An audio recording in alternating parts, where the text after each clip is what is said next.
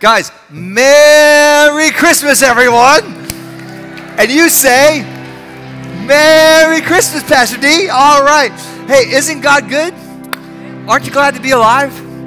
Man, I feel good this morning.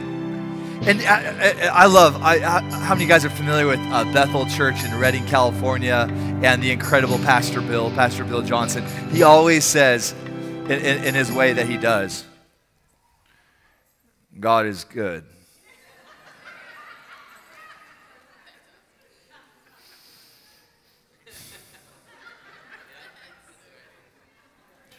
And he's in a good mood.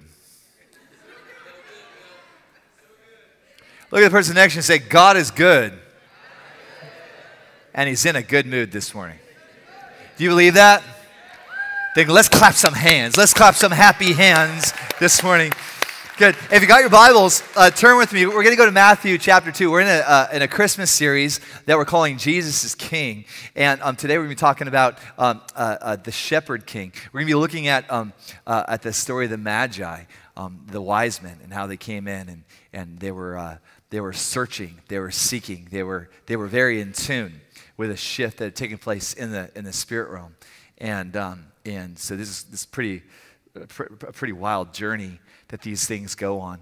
And um, how many know that in our, in our city in Seattle, um, that there are spiritual seekers, and, uh, and a lot of them are more in tune with the spirit realm than even a lot of people in the church. And how many know that seekers will be finders, and finders will be sought after? This is the story of, of some fascinating mystical, scholarly, famous magi or wise men and their journey, this, this adventure that they've been on for quite a long time to, to, to meet a king. And my prayer is that this Christmas season, all y'all SRCers would be reminded that Jesus is not just a Galilean peasant that was born in a barn that we read about from Genesis, I'm sorry, that we read about in the, the Gospels, between Matthew, Mark, Luke, and John, that Jesus is not just this, like this, like guy that has been portrayed, like this kind of this 1960s John Lennon and Birkenstocks with like great hair that just goes from city to city saying, hey, consider whatever you do. What do I do with my hands? Like, consider the flowers of the, and, and peace. And, you know, that when we read, it made no sense. I, we read about Jesus, that the story of Jesus doesn't begin in Matthew 1. The story of Jesus doesn't begin in, in, in, in Mark 1. The story of Jesus doesn't even begin in Luke chapter 1. That the story of, of Jesus uh, is, fills and floods every page of our, of our Bibles yeah, from Genesis 1 all the way to the very end of Revelation, and that the Bible uh, contains this incredible testimony and record that Jesus is, Jesus was, and Jesus forever will be our victorious King. All right, let's read Matthew chapter 2. It says, Now, after Jesus was born in Bethlehem of Judea, the days of Herod the king, behold, the wise men came from Jerusalem. And, uh, and they came saying, Where is he who is born king of the Jews? This is fascinating here. Um, we see that the wise men come into Jerusalem and they get an audience with the king. They get an audience with King Herod. Um, and we know that this is a big deal uh, because um, we read that, that all of Jerusalem is about to marvel at the revelation that comes from this conversation. Now, uh, we call these, and by, by, the way, we don't know really that, that there were three of them. You know, we've got the song, we're three kings of glory. And everybody, we're three. Like, okay, so first of all, we don't actually know that there were three of them. Um, that's kind of the more the nativity story. We based off of the fact that there were three different kinds of gifts that were offered: the frankincense, the gold, and the myrrh. Um, but what we do know is that there is this procession that, that captures the attention of Jerusalem as these Persian magi come into town. They are granted an audience before the king. So they come and they meet before King Herod, that was known as King Herod the Great. And the first mistake that they made is the very first question. Um, so they ask King Herod the Great, who believes that he's like the greatest king ever, right? Like, like he, he probably had a t shirt that was like, I'm the greatest, who wants to touch me, right? Like Herod was really quite full of himself. And so here we've got, which I find this funny, here you got the wise men, and the very first thing they do is they make what my wife would call an unwise choice. like here you got this guy that's full of himself, that's really high on his own kingly authority, and they come and they say, Hey, uh, like, so why are you guys here? Are you here to see me? I see you have gold and frankincense and myrrh, and those just so happen to be my favorite presents, right? So here the, the Magi come and they're before the king, and what do they ask? Hey, so we're actually kind of looking for a different king. We're looking for the king of the Jews. How offensive would that be? Why? Because Herod, he believes that he is the king of the Jews. Yeah. And so we see here, they continue. The wise men say, For we saw his star when it rose. This is amazing. We see in Psalm 19 that David declares that the heavens declare and testify of the glory of God. So here you have these mystical magi. Here you got this word for almost magician. These, uh, uh, these very wealthy scholars. I'll just be honest, there's a lot of mystery around these celebrities that come into, that come into town. Um, so I can't not even for a second really get my head around who these guys were, but these guys are a pretty big deal. Like we're here to, we're here to find um, this new born baby king who happens to be the new king of the Jews. For we saw his star. We were in tune. Now, where's this star at right now? It's right over top of where they're meeting. So here you have Jerusalem, and here you have a king, and they don't even know about the star. They're not even aware of this revealing in the heavens that is declaring it's time. He's here. Isn't it interesting that you've got these Persians that are aware of the messianic prophecies? It's also kind of interesting because we know that King Herod um, was uh, very intimately aware with the messianic prophecies. That King Herod himself, you could say, was sort of a half Jew. Uh, he wasn't Jewish by blood, uh, but he was Jewish um, almost by association, in that his his, um, his ancestors before them were uh, sort of converted into Judaism uh, against their will. And so he was very familiar with the, with the Jewish faith, and yet Herod's kingly loyalty was to Rome. He was in cahoots with the Roman government. Now, here's these magi, these very wealthy, influential people. They've got their gifts. They say, We're here to meet the king. And we know that he's near because we have seen his star. And you know what Herod was thinking? What? He's, he's got a star? You, you, you, you, know, you know Herod was thinking, like, I want a star. Right? Like, like, like, what's a brother got to do to get a star around here? Right? Like, he gets a star, I want a star. Somebody gets me a star. You're all dead. I kill you all until I get me a star, right?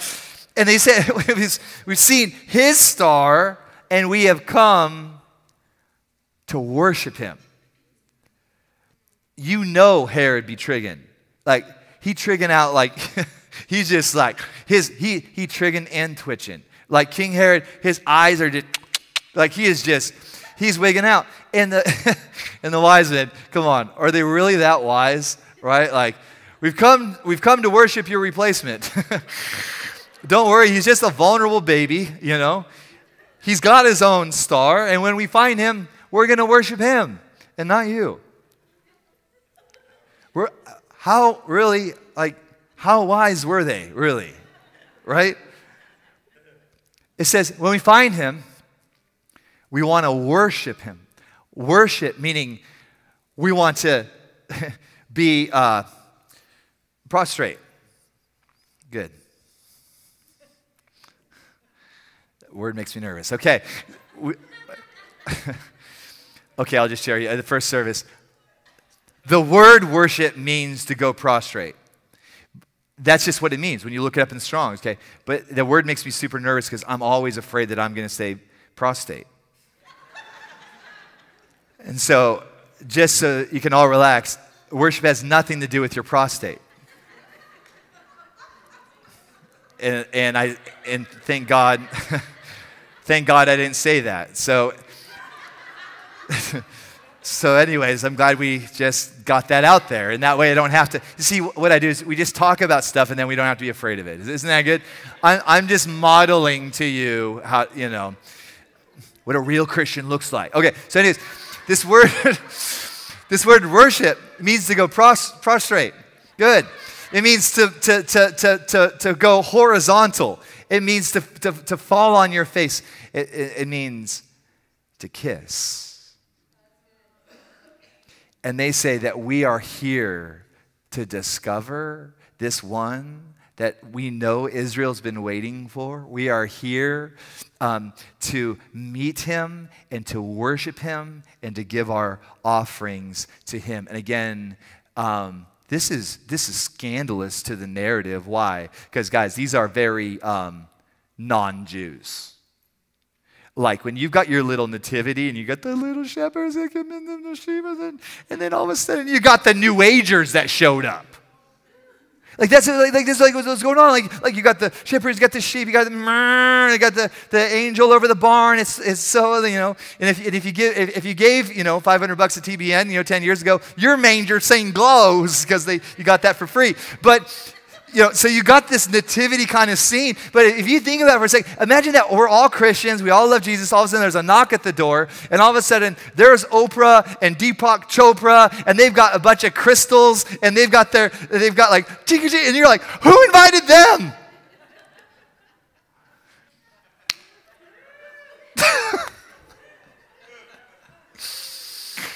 Christianity is, like the Bible, is so wonderfully offensive, but we just, we render it over time to be tame and, and palatable. But when you actually read the Bible, you're like, what? They get to be involved? The magicians? Like, yeah, Oprah, Deepak Chopra, and um, David Copperfield. Like, here's a dove. and of course, the drummer boy. I forgot my gift, but I pump, pump, pump. All right, let's just keep, let's keep reading. We're to make it when Herod the king, okay, so check it out. When Herod the king heard this, he was troubled, and all Jerusalem with him. So, guys, this is out. This is not a private thing.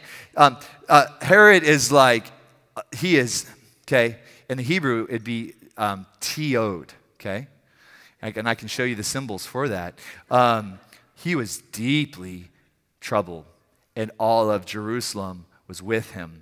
So what did he do? He, he gathered his chief priests. He gathered his scribes. You know, chief priests, scribes, oracles, uh, magicians, come! And, and they got their scrolls. Figure out what's going on. He inquired of, where is this Christ going to be born? And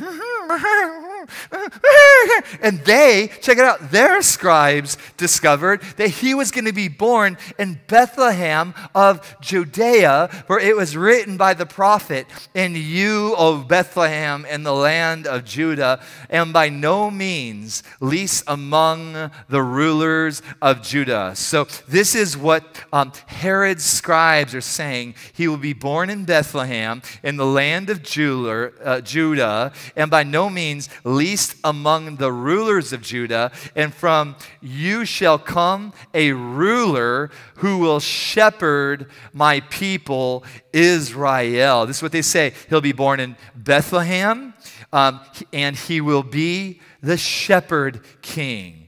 Now, guys, we've been, we've been talking recently that if you want to see who Jesus really is, that we've got to dive into all of the scriptures, all of the stories. So a few weeks ago, we talked about Joshua and Jericho. We looked at how Joshua was a type uh, for Jesus, that Jesus, um, uh, that Joshua's name even means Yeshua, which is Jesus. We, we learned about um, uh, Job, that, that Job uh, is pointing to Jesus, the true and perfect, innocent sufferer who would go through suffering on behalf of us and achieve incredible victory that we get to become participators and heirs uh, as our own and inherit. Last week, um, uh, we talked about Jonah and the dragon of chaos. And uh, listen, if you weren't here last week, if you didn't get to dive into that little rabbit hole, that there was a good time. Okay? Uh, so you can go online and watch that for $13. And but this week, we're going to look at Jesus, our shepherd king, at Jesus, this one who came um, unrecognizable, this one that came underneath the radar of Herod, this one that came underneath, uh, he, he, wasn't born in a, in a palace, he was born uh, in, in a barn, in a, in a manger. And, and there's these radical um, sim- similarities. David, remember David and Goliath? Remember King David?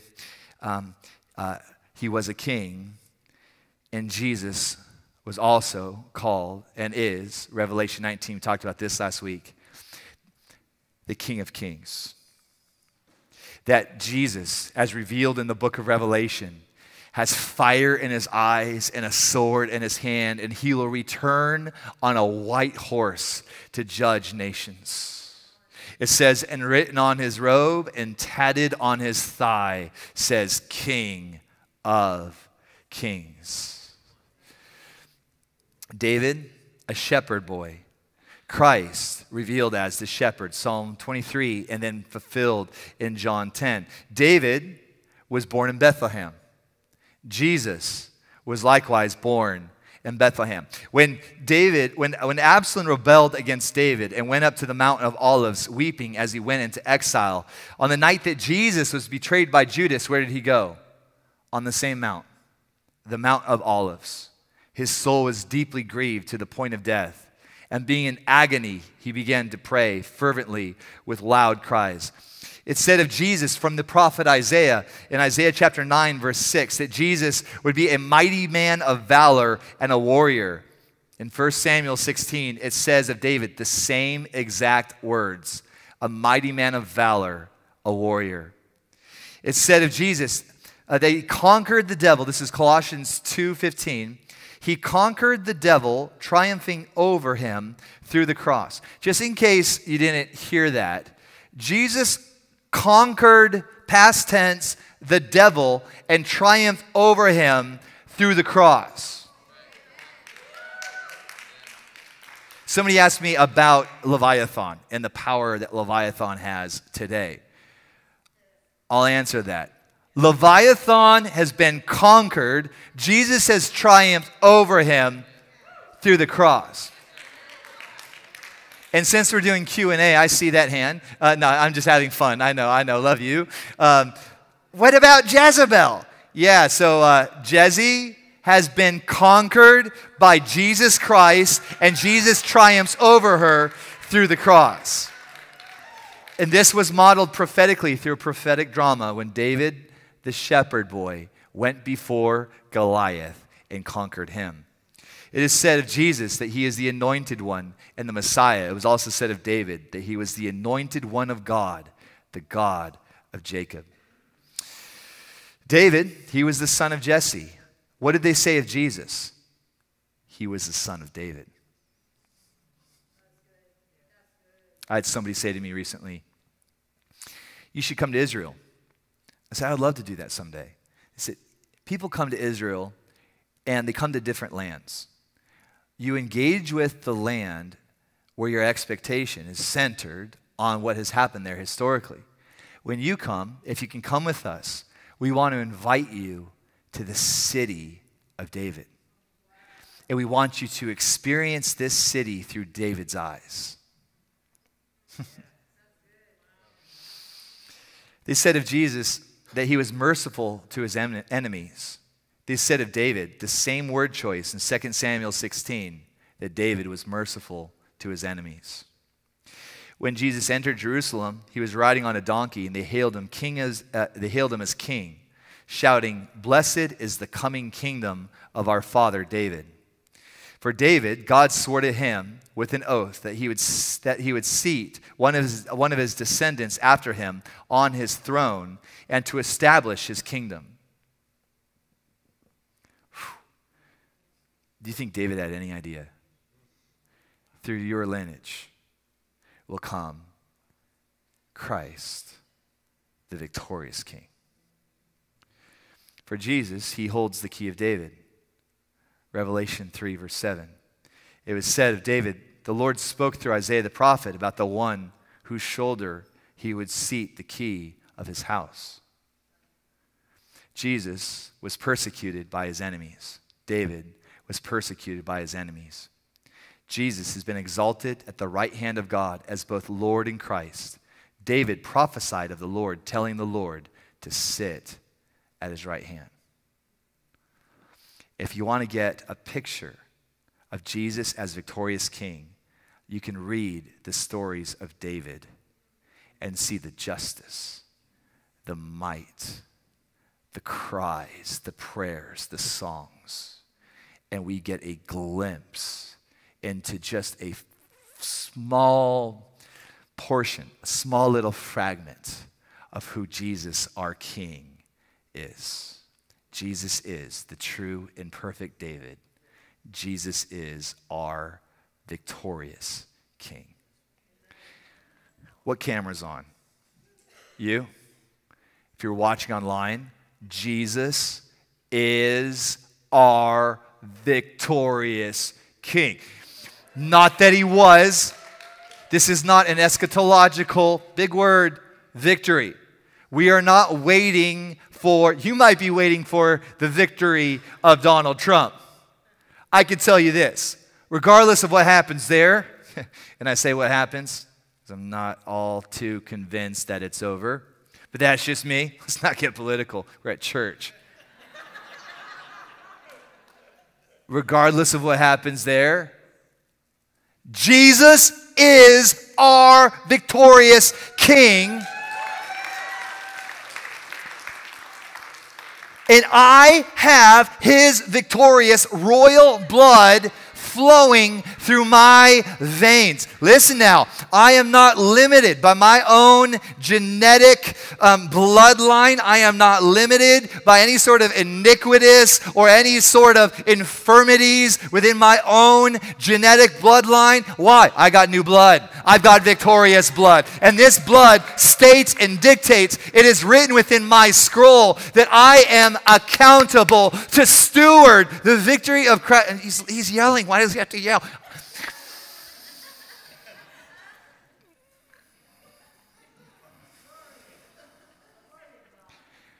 I am accountable to steward the victories of Christ Jesus, to steward them, to manifest them, and to multiply them, which means that I am accountable to settle for nothing less than God's very best, not just in my life, but in your life.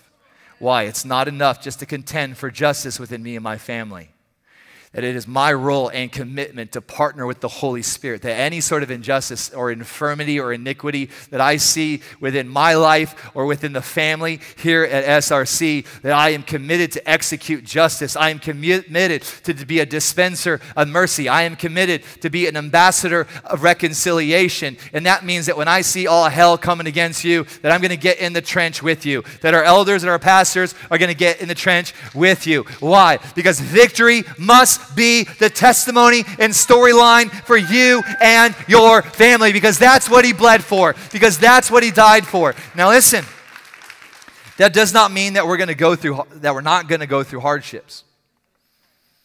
It doesn't mean that we're not going to go through seasons.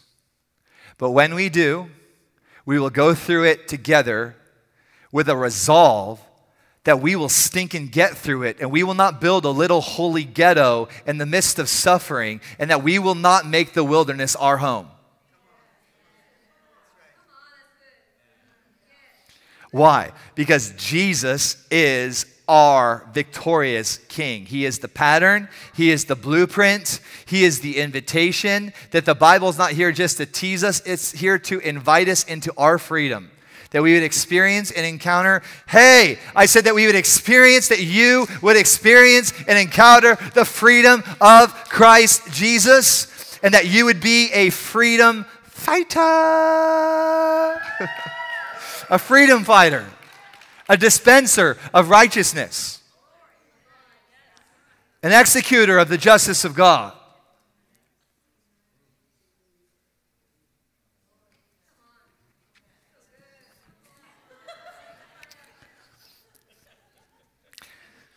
There's more verses.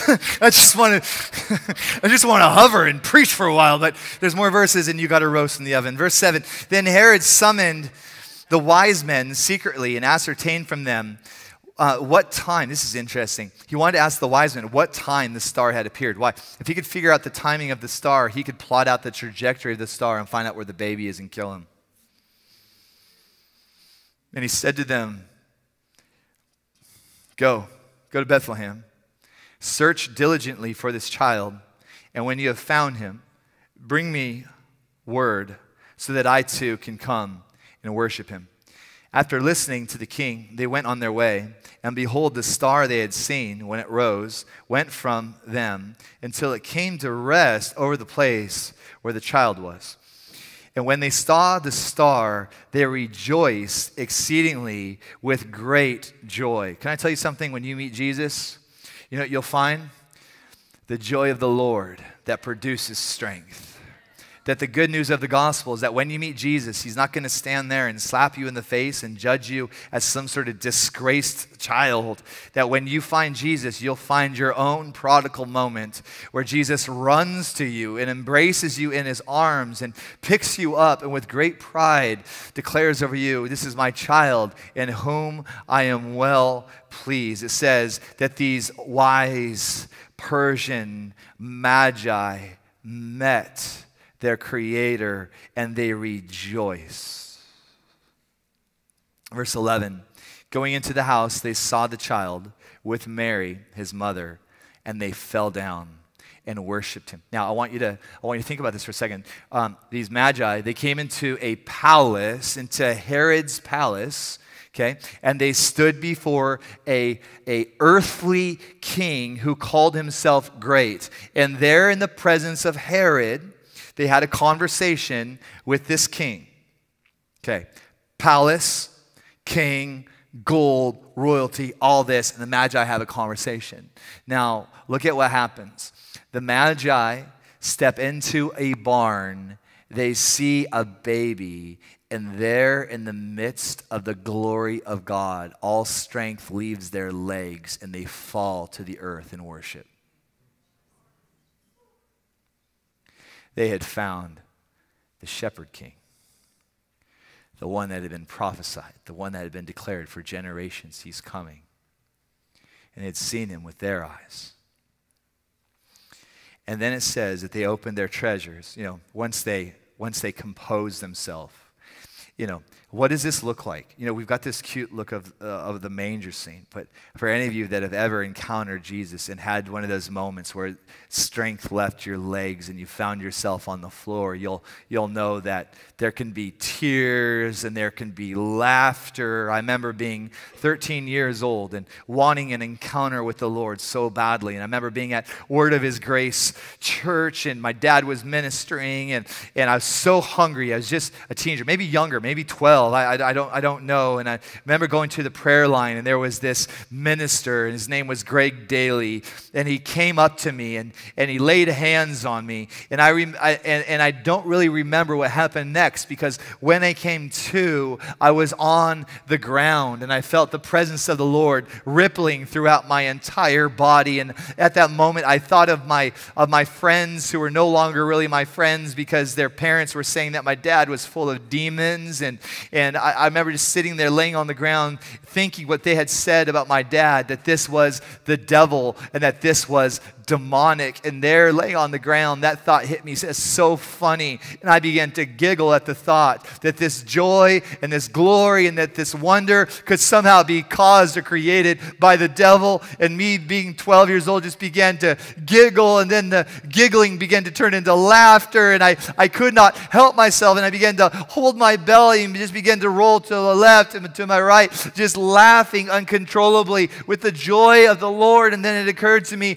that this laughter wasn't just me, this was the joy of the Lord. And all of a sudden, um, the presence of God began to dwell up even more with a, with a greater glory and a greater intensity. And it began to turn into tears. And I began to weep in the joy. It wasn't a sad crying, it wasn't a mourning. It was, it was that place of such wonder and such pleasure that I just began to weep and weep and weep. And then the tears turned back into laughter as I, and I began to go back and forth, laughing and crying and laughing and crying. And I remember as they put me in the back seat of the car, I remember going to bed that night as the presence of the Lord just continued to minister to me as I laid in my bed as a child, laughing and weeping and enjoying the presence of the Lord. We see here the Magi are in the glory of the Lord. And it says that the strength left their legs and they are on the ground worshiping. We don't know how many hours this was, but I can imagine there was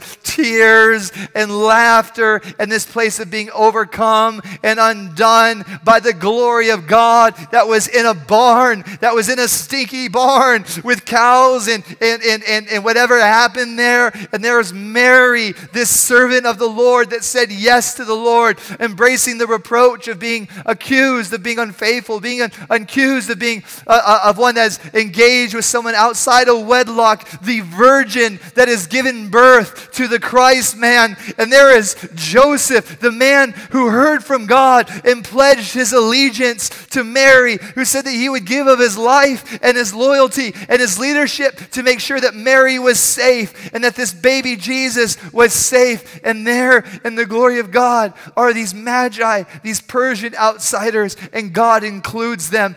He includes the pagan and he receives them and celebrates them as sons that they got to be a part of the most holy moment that the earth had ever seen up until that moment. And there they were. They were included in the family of God, demonstrating that the kingdom of God is not just for the Jewish people, but that the kingdom of God is for all nations. That for unto you is born this day in the city of David a Savior, which is Christ the Lord. And this shall be a sign to you. You shall find the babe wrapped in swaddling clothes and lying in a manger.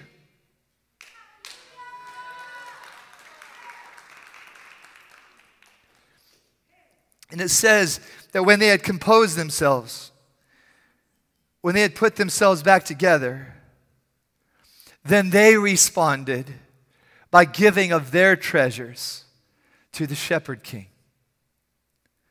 They offered him the gifts of gold, frankincense, and myrrh fulfilling the prophetic word of Isaiah 60, verse 6, that the wealth of nations would come to God's people through the Christ.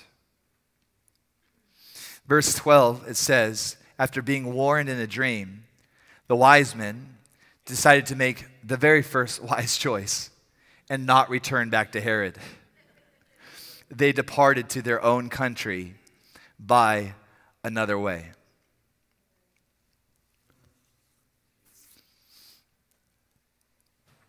Declare this with me Jesus is my victorious king. You know, Satan doesn't care if you believe in Jesus. James 2:19 says that even the demons believe in God and shudder. There's a battle for our belief. We see in 2 Corinthians 4 4 that the God of this world has blinded the minds of them which do not believe, lest the light of the glorious gospel of Christ Jesus, who is the image of God, should shine upon them. In this time, there's a battle for our belief. in this present time, there is a battle for who is Jesus going to be in your life? Is Jesus just going to be your Savior? The one that you needed to forgive you of your sins so that you could somehow manage to make it into heaven? Will Jesus simply be just your Savior, or will He be the Lord of your entire life? Will Jesus simply be your rabbi, your savior, or will he be your victorious king? Listen, this is not something that I pulled out of the old can for y'all. I swear I did not preach this sermon last year. Last year, we needed something from God's breath and heart for last year's season. I can tell you this we are not in last year's season. I can tell you this it ain't 2019 anymore.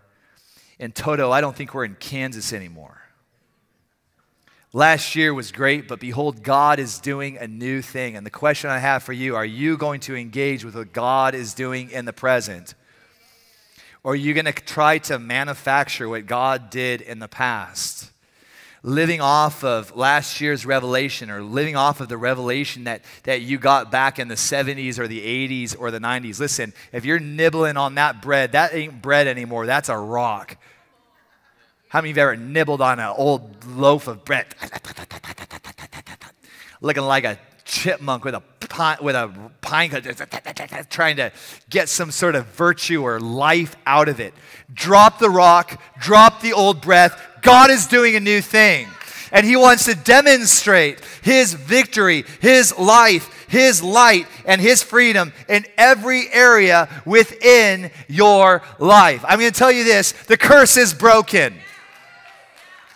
Jesus is victorious and people are getting set free. I'm not talking about last year, 2016. That was great. God bless it. I'm talking about in, even in the last seven days. Well, I'm talking about um, a, a, a person practicing witchcraft on our property, coming on our property twice a day, twice a day. One of our intercessors declared, um, I see her staff, because she had a staff, a seven foot tall staff that she would carry on the property. And the intercessor said, I see the staff broken. On the day we went to confront her in love and in grace, to plead with her, um, to discover what Jesus had in store for her. On the day we went to plead with her, on that day when she came onto the property, somehow her staff somehow just broke. And we went to meet with her, and her staff was broken in two as I began to read her mail and began to tell her what her, um, what her religion, what her false religion, what this deception had cost her. As I began to read her mail, and began to plead with her, telling, Can't you see what these entities, what this energy has cost you? This is true, isn't it? And she nodded her head and she said it was true. With her broken staff, she drew a line in the dirt. And I said, That is prophetic, that you just drew a line in the dirt because God is inviting you to cross the line. She said, I had a dream, and in the dream, I was inside your church, and I took off my clothes, and I left my clothes inside the church. I said, That dream was from Jesus. He's inviting you into the family of God to take off your old clothes, to take off your old mantle, and to receive garments of salvation, white garments of righteousness. I said, Today is your day to cross the line, to believe in your heart, and to confess with your mouth that Jesus is Lord. And she said, I can't do it, and I won't do it. I said, Then, as one in authority, I have to tell you, you are not allowed here on this property any longer because we have a very specific intent for this property and for this house. And you are confronting, you are an enemy of what we are have been called by God to do. That there was the, that, that thing that got exposed and we, we pleaded. But I can tell you this the power of that thing was broken. Well, we have not, she was all over Newcastle and all over even our, our neighborhood. And, and I'd see her here and there. I haven't seen her since that day, we commissioned by, by invitation from the Lord, by directive from the Lord,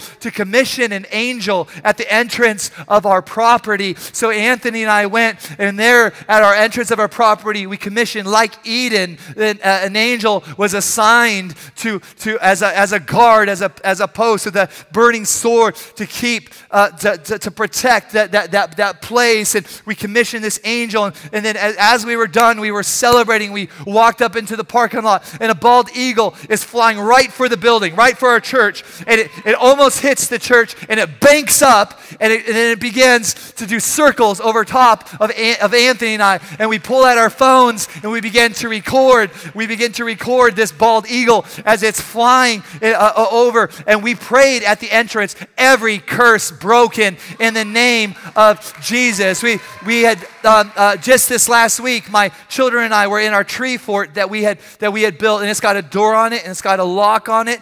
And I had this conversation with Chris Carbonell at our Christmas party about, you know, I should get the carpet out of the fort because we got leaks in there, and the carpet is getting wet, and that wet carpet could cause rot in the floor. And so I took my kids out there this last week, and we unlocked the door, and and we went to remove the carpet. And when we did, somebody had broken into our tree fort and they had, they had painted pentagrams and upside down crosses underneath the carpet and then, and then covered it back up with the carpet. Pulled up this thing, this curse that had been there for a long time. We'd been in that fort since this, this, since this thing had happened, had been exposed. We broke the curse. We commanded the curse to be broken. We took the spray paint. I covered up their signs and symbols, painted, Jesus is Lord. And I can tell you, it's almost been every day for the last week that we have had opportunities to come into agreement with the fire of God, and we have seen demons take a knee before the foot of the cross.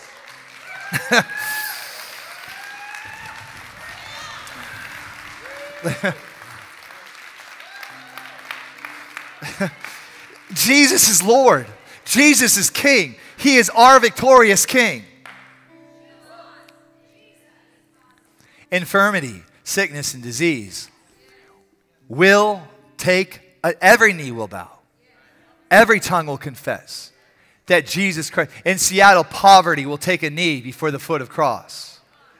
In our region, the opioid epidemic is going to take a knee at the foot of the cross. Why? Because of the kingly authority in the bride of Christ, in the church, in the body, that sits in her throne and demonstrates and declares the curse is broken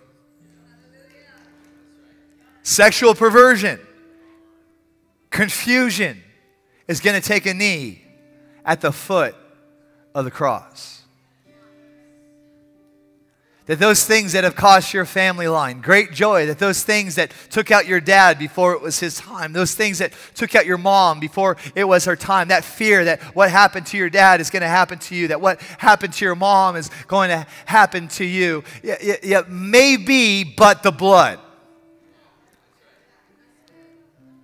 Maybe that could have been a reality. The problem is, is that Christ Jesus summoned you to this service today, not to hear from Darren. No, please. You don't need to hear from Darren. You need to hear from the Holy Spirit. And that means that the power of Christ Jesus, the same Spirit that raised Christ Jesus from the dead, is here to set you free in every area of your mind, your will, and your emotions, in every area of your physical body, and every area of your spirit. Listen, there are people people here and you dragged in demons that have been with you for a long time and they were on your mommy and your daddy and your daddy's daddy and this, that, and the other, and you think that this is just the way that life was meant to be, that is not why he died. He did not die so that you could stay in Egypt and eat porridge. No, he died so that you could get your butt out of Egypt, so that you'd be a free man, you'd be a free woman, that you'd be able to step into the land of promise, the land of destiny. But you got to be willing to get out of Egypt. You got to be willing to say, yeah, the porridge, it's okay, but I'm willing to enter into the adventure where I have to put my trust in this King of glory. Yes, there will be adversity. And yes, there will be your Red Sea moment. And yes, there will be that moment where, like, what am I going to eat? Yes, there will be these incredible opportunities. These are opportunities to, far, to partner with your Father, opportunities to partner with your God. Because I can tell you this maybe you might know a lot about Him, but you're about to know Him for yourself. You're about to have those Moses moments where God has to show up. Otherwise, Houston, we have ourselves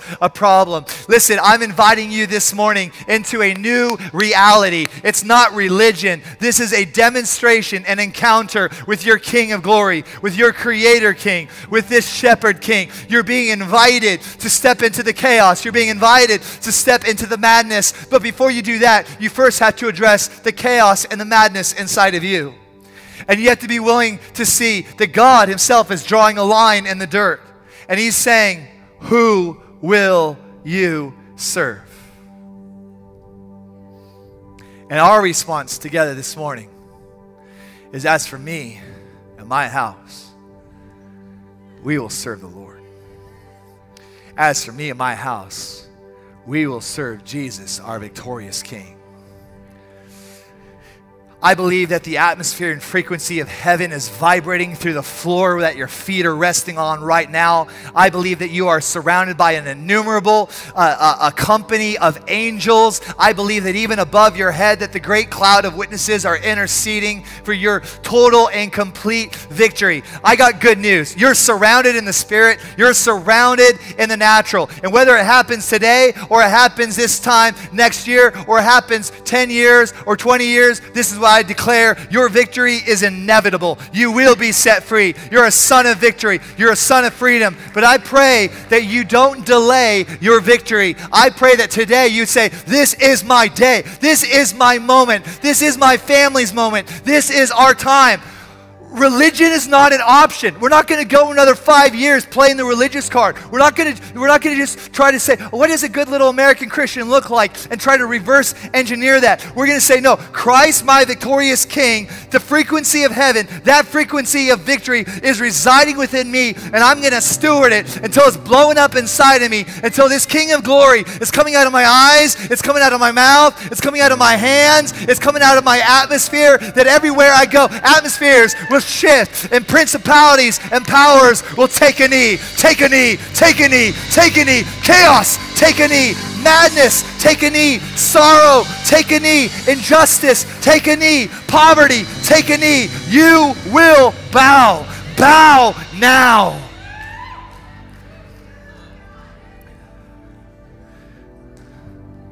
You have permission because you're a son of inheritance to speak to the principality and to command it to bow now.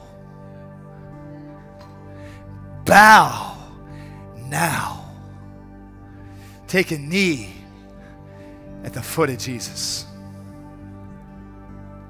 Today we're going to um, respond in a similar way that the uh, that the Magi responded. We're going to receive tithes and offerings we're going to give this morning. And then when we're done giving, we're going to sing. We're going to pour out our hearts be, before this, this shepherd king. And at the very end, I'm going to have our pastors and elders come and we're going to, we're going to take this oil as commanded in the scriptures that the elders would anoint those with oil and the sickness, disease, and oppression would leave people's bodies that today is a day not just of declaration, today is a day of a manifestation of this victory and this King of glory. If you could put up the instructions for how to give uh, with tithes and offerings, that would be great. Um, you can give with credit card, debit card, cash, all that. Uh, that would be great. We Got it there somewhere. Um, as you're preparing your gift, if you look in your um, uh, bulletins or your little thing that you got, you'll see a red envelope. With the Red Envelope Project, we are only $1,700 away from meeting our $25,000 budget. That's awesome. That's awesome, by the way. With the, with the Red Envelope Project, what, what that means is that it's, already, it's basically already done. We've basically already raised that money. We've got two more weeks of the Red Envelope Project. So we're actually going to keep gathering funds. You say, why are you going to keep gathering funds? If you were at our conference last summer, Pastor Troy Brewer was here. One of the things that Pastor Troy Brewer is doing is his ministry is actually, and this is totally illegal. They're, yes, they're, they go, they go into these countries where there is sex trafficking, and they buy trafficked girls. They rescue them out of the sex trafficking industry. They've, they've also got um, lawyers and a legal team, and they, and, and, and, they, and they actually um, uh, press charges against these kidnappers. And so it, it's incredible what they're doing. They're not just raising awareness, but they're actually going in. Um, when Pastor Troy and his wife first went and they saw what was happening with these girls that were being kidnapped, and they actually got to see how cheap you could buy a girl. It so broke his heart that he came back and he and his wife refinanced their home, take a, took a whole bunch of money out of their home so that they could go back and start buying girls.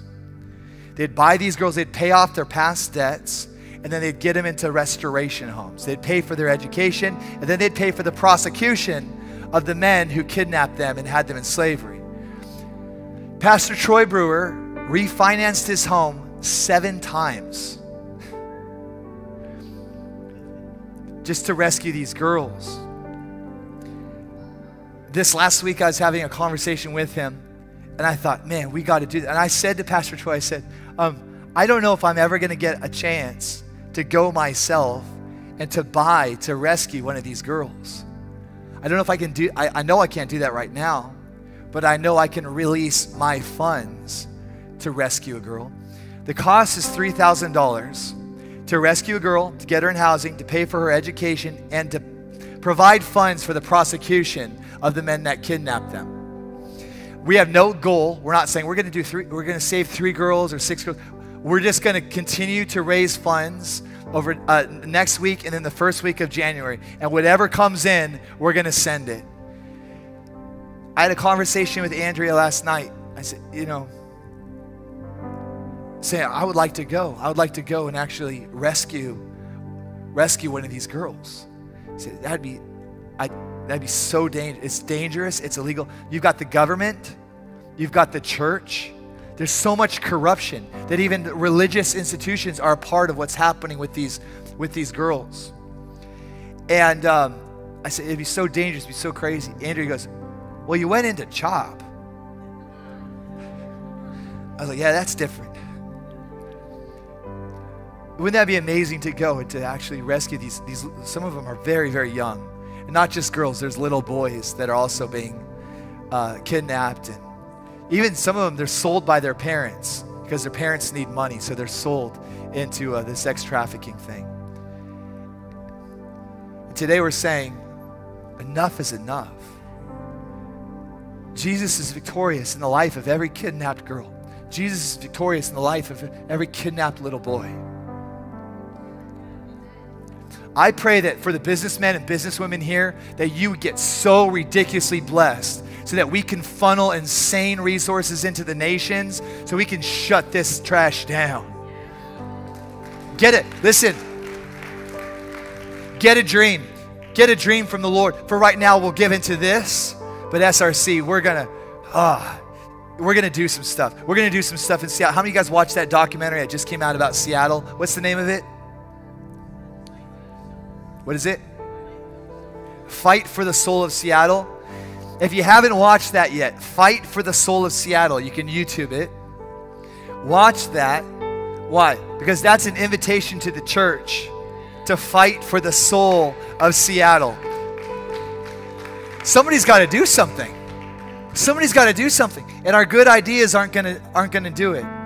There are God ideas. It's going to cost a lot of money. It's going to take a lot of time. There's going to be a lot of reproach. There's going to be a lot of persecution around it. There's going to be a lot of Christian people that are going to want to crucify you because that's what religious people do. They're always trying to kill the Christ.